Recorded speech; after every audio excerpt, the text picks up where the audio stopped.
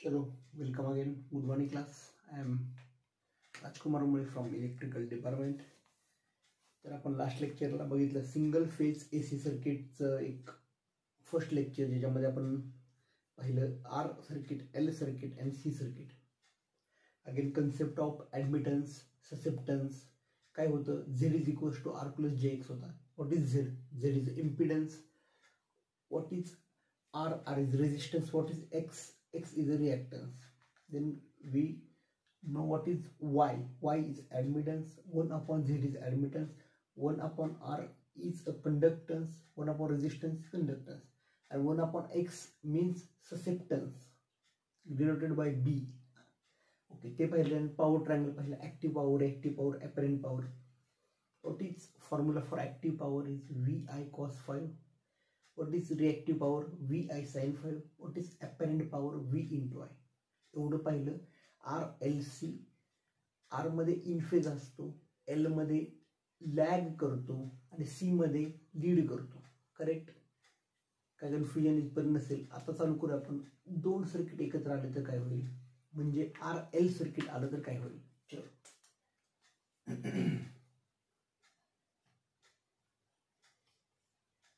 Suppose this is R, this is L.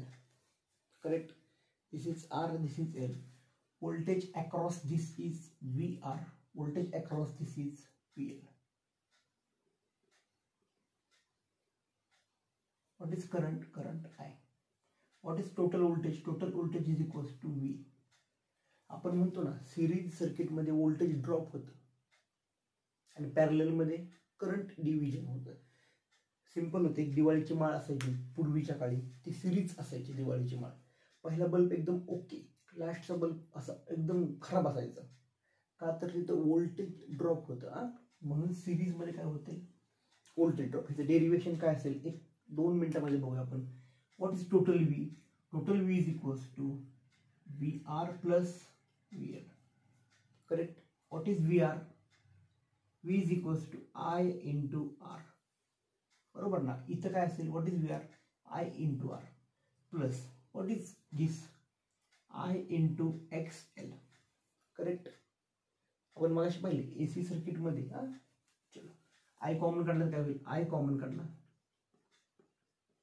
R plus X L V आपण I बोललो तर? R plus X L V आपण I is nothing but Z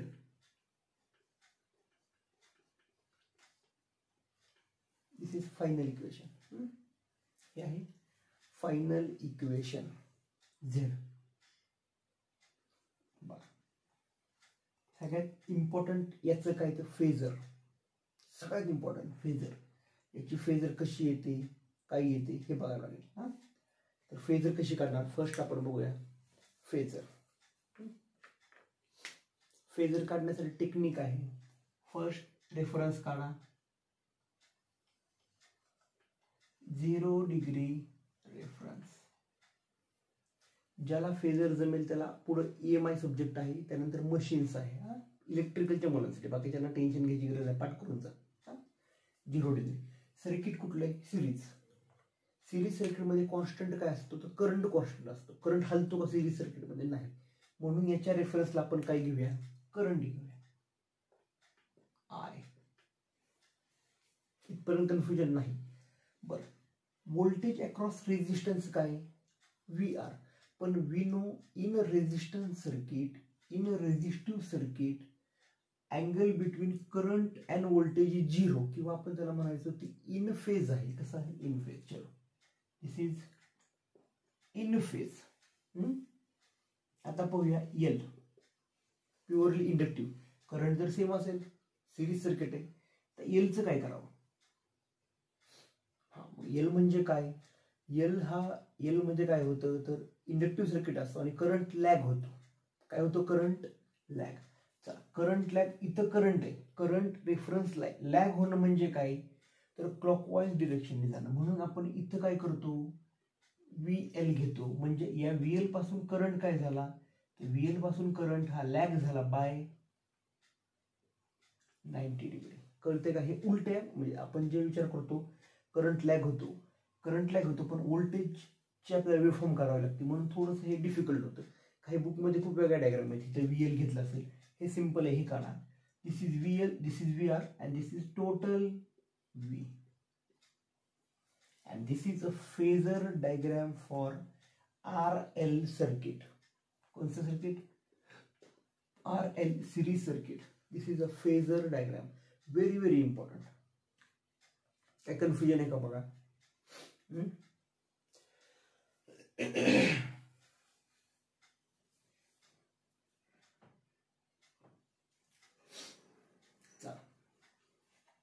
okay चल. आता घेऊया आपण. अजून एक सांगायचं राहिलं मेन सर्वात इम्पॉर्टंट जेव्हा तुमचा एल सर्किट असेल आणि सी सर्किट असेल कुठलं सर्किट असेल? तुमचं एल सर्किट आणि सी सर्किट त्याच्यासाठी हे जे असतो जे. आर प्लस जे हा? जे एक्स एल जेव्हा एल असेल तेव्हा घ्यायचं प्लस जे सी असेल तेव्हा घ्यायचा minus J but minus and indicate lead and का घ्यायचं? म्हणजे मी खूप सर्च केल्याच्यावरती पण ते लक्षात नाही आलं पण आहे ते. बुकमध्ये बी एल टीमध्ये एक दिलेलं असतं हे प्लस जे आणि सी साठी मायनसच जे घ्यायचं. का घ्यायचं? आय डोंट नो पण जिथं सी असेल तिथं मायनस तिथं एल असेल तर प्लस हे लागेल. कसं काय बघूया आपण पुढं. हे लक्षात ठेवा. चलो.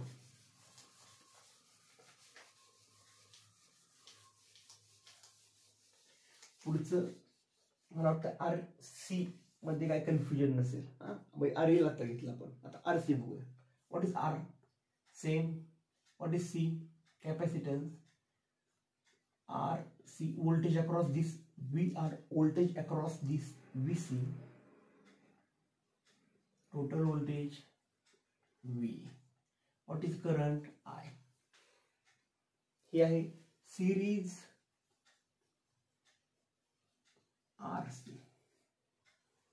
काय कन्फ्युजन आहे का बघा डायग्राम मध्ये काय सेम व्ही बरोबर V R plus V C हे वेक्टर समेशन आहे ना. What is V R I into R what is is C I into X correct I common काढलं. आर प्लस हे बघा आता. एक्स सी येईल इथं पण एक्स सी जिथं सी असेल तिथं काय सरलं आपलं? I plus R plus J X इथं मायनस संपलं this is R C circuit this is R C circuit phasor कशी असेल? Very important phasor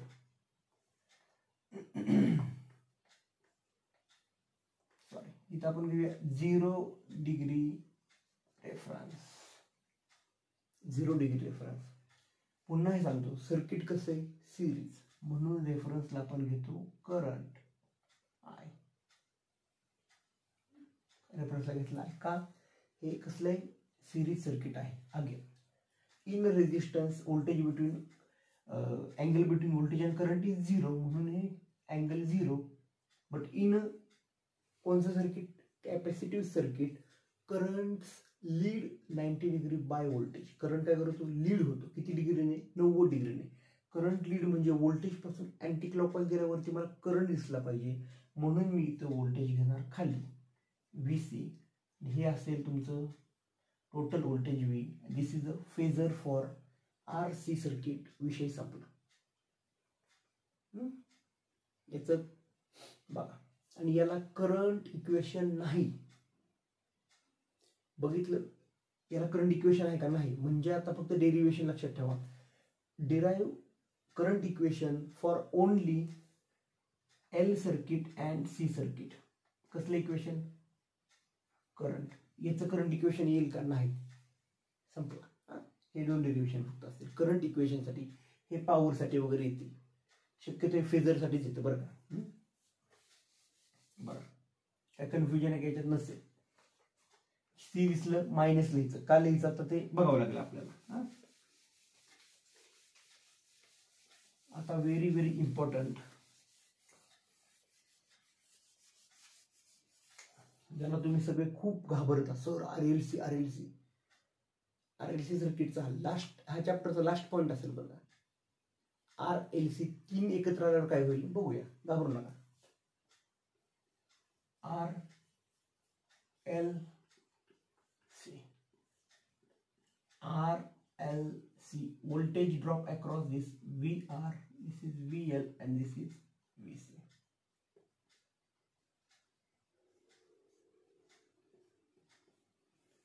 total voltage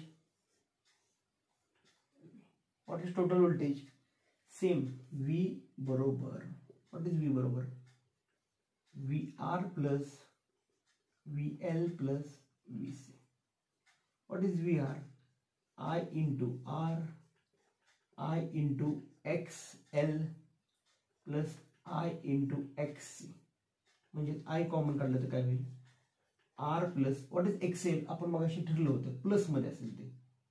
X J X L minus J X C म्हणजे असं लिहू शकतो का मी?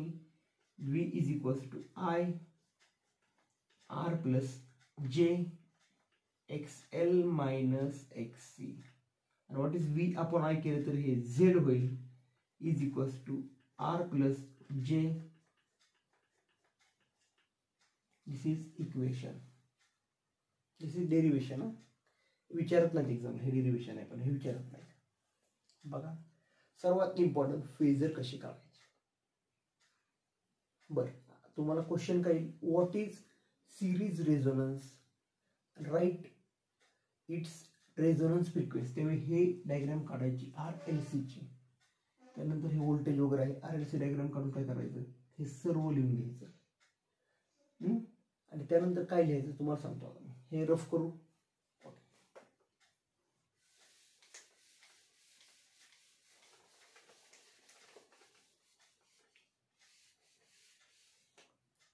Next लेक्चरला फळा थोडा मोठा घेऊ आपण चलो.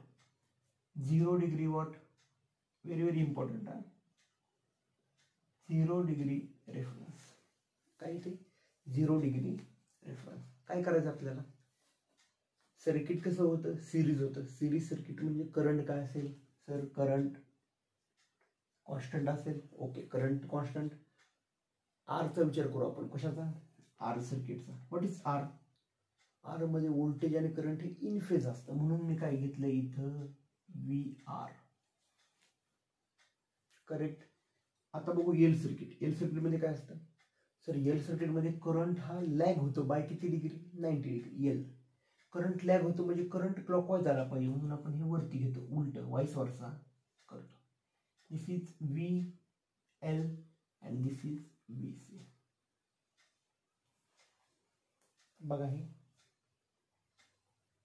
This is a phasor diagram for R L C series circuit मग काय करतो हे वेक्टर समेशन आहे. अशी कुठली कंडिशन येईल ज्याला रेझोनन्स कंडिशन म्हणायचं? तर अशी एक कंडिशन येते. याला म्हणायचं X L is equals to X C or V L is equals to V C हे जिकडं वरती आहे हे खाली आहे हे वेक्टर समेशनने काय होतं? कॅन्सल होतं आणि राहतं फक्त काय? तर एवढंच राहतं. व्ही आर आणि आय आणि हे काय होतं? एकमेकांना कट होतं. त्याला म्हणायचं resonance frequency or resonance condition कुठली कंडिशन रेझोनन्स कळालं हे काय झालं ते? मग रेझोनन्सचे काय होतं? त्याचं डेरिवेशन आहे सिंपल आहे बघा X L is equal to X L what is X L two pi F L बरोबर two pi F C sorry one upon two pi F C X C म्हणजे. मग काय करूया आपण? फ्रिक्वेन्सी एफ स्क्वेअर बरोबर one upon two हा खाली जाईल ना? एक मिनिट इथं परत घेतली तुम्ही. X L is equals to X what is X L two pi F L बरोबर one upon two pi F C what is F F square इकडे आला. One upon two into two four pi into pi pi square L C F is equals to one upon two pi under root L C this is nothing but resonance condition बघा एकदा हे.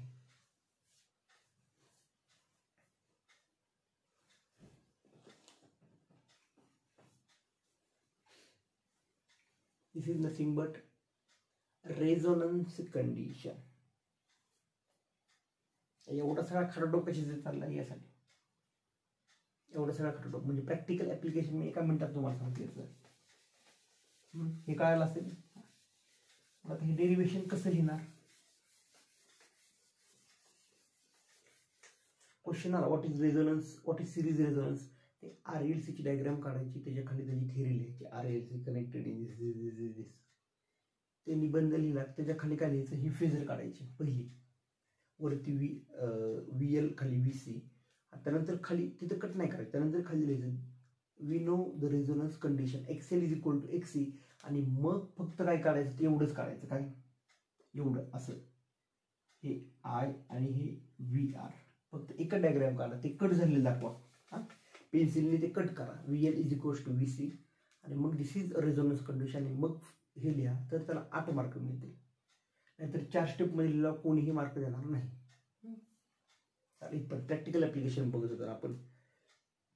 हे एवढं का शिकायचं सगळं? R L C circuit मी तुम्हाला सांगतो इथे युनिट नंबर तीन संपला आपला थिअरॉटिकल पार्ट दोन दोन लेक्चरमध्ये हे का शिकलो? हे why this topic is in syllabus in your syllabus why कारण घरी आपण असं करू शकतो का? नाही नाही थांबा. मी लोड काढते मी हा लोड लावते मी इंडक्टिव्ह लोड काढते. तसं नाही होत.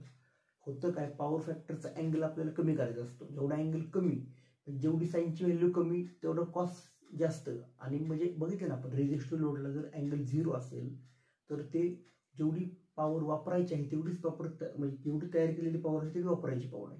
त्याच्यामध्ये रिॲक्टिव्ह पॉवर झिरो असते. कशामध्ये? इन रेजिस्टिव्ह सर्किट म्हणून आपल्या अचिव्हमेंट अशा आहे की आपण प्युअरली रेजिस्टिव्ह सर्किट आणायला पाहिजे.